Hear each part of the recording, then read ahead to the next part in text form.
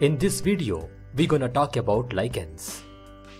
Before that, if you're not yet subscribed to our channel, please subscribe and press bell icon to get notified. Lichens are symbionts, where two different species exist together.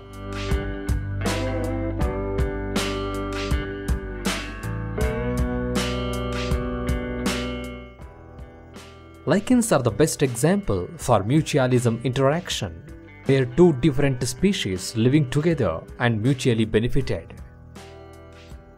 Lichens are unique double organisms that consist of two unrelated components, the alga and fungus. The alga can be either green alga or cyanobacterium. An algal component is called phycobiont which is photosynthetic. Fungal component is called mycobiont, which depends on alga. Fungus provides protection and minerals to an alga and gains nutrients in return.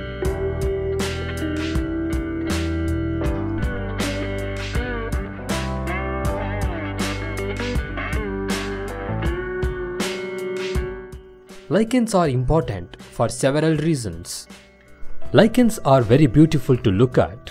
In the case of Ramalina subdictocarpa, longissima, they are highly branched and hanging from the branches of the tree.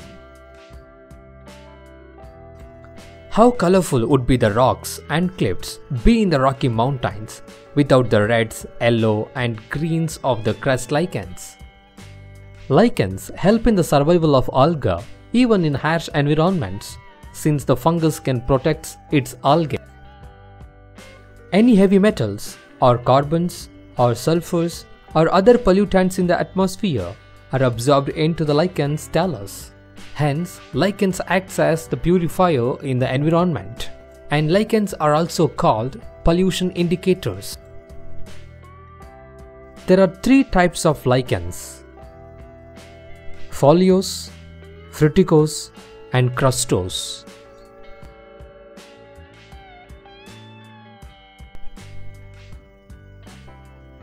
Foliose lichens possess lobed leaf-like shaped thallus. Fruticose lichens possess upright, cup-like, pendulous branched thallus.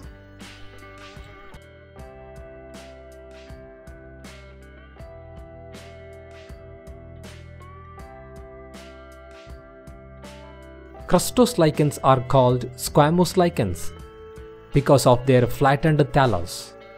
Squamulous lichens having an upper cortex but do not have a lower cortex.